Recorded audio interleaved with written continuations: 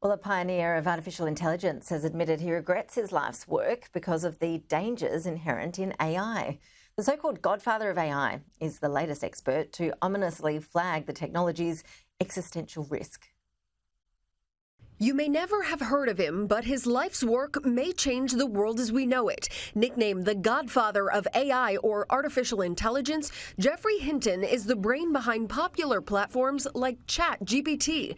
But he partly regrets that work, saying to the New York Times, I console myself with the normal excuse. If I hadn't done it, somebody else would have. Hinton left Google after a decade so he can let the public know the dangers of AI that he helped create.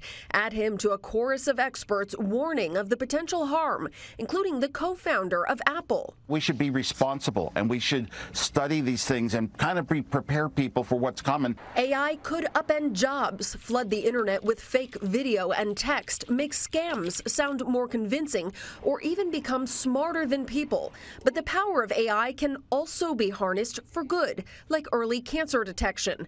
Either way, the genie is out of the bottle, and now experts and policymakers are wrestling with whether and how to regulate it. We need to have much better guardrails on all this stuff. Most voters want the federal government to step in, but only 39% think Uncle Sam is up to the job. My kid's public high school is full of, of people who understand technology a lot better than the United States Congress. And the industry isn't slowing down for the government to catch up. Scientists are even developing AI systems focused on translating brain activity to text. This technology, it's like nuclear power. It can be used to fuel a city or it can be used to destroy a city. IBM just announced they will pause hiring for roles they think AI could eventually replace.